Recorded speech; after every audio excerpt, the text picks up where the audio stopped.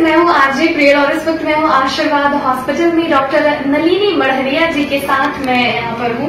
तो मैम, मैं आपसे जानना चाहूँगी कि आईवीएफ पद्धति को लेकर लोगों के मन में बहुत सारी भ्रांतियाँ होती है तो क्या क्या है वो मैं जानना चाहूँगी। आईवीएफ जो है वो जैसे बाकी ट्रीटमेंट होता है, वैसे आईवीएफ भी है। जो सामान्य तरीके से प्रेगनेंसी नहीं हो पा रही है, उस प्रक्रिया में हम लोग दंपति की केवल सहायता कर रहे हैं।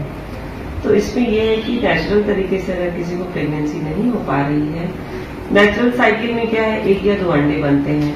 आईवीएफ में हम क्या करते हैं? इंजेक्शन के द्वारा हम कोशिश करते हैं कि कम से कम आठ, दस अंडे बने, जिनसे कि उनका सक्सेस रेट जो है सक्सेस रेशियो बढ़ सकता है।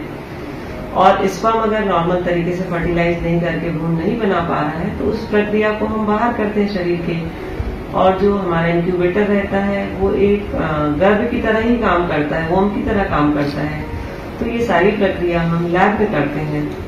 लैब का जो इन्वायरमेंट रहता है, वो गर्भ की तरह मेंटेन किया जाता है। नेचुरल तरीके से जो फर्टिलाइजेशन होता है, जो शरीर के अंदर नहीं हो पा रहा है, उस प्रक्रिया को हम बाहर करते हैं।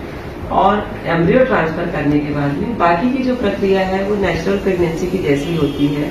बच्चे का विकास नेचुरल होता है।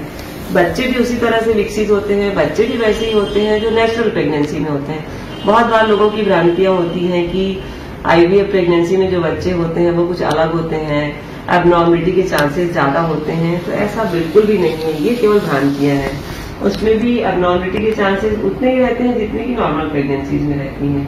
तो आईवीएफ कोई बहुत ऐसी अलग चीज़ नहीं है उसको आ, अगर आ, कोई दंपत्ति है जिसकी उम्र 40 साल 45 साल हो गई है या कोई दंपति है जिनकी शादी को 20 साल 25 साल हो गए हैं और वो सोच भी नहीं पा रहे हैं माँ बाप बनने का नेचुरल तरीके से। अगर उनको आईवीएफ से माँ बाप बनने की खुशी मिल रही है तो इससे अच्छा उनके लिए क्या हो सकता है?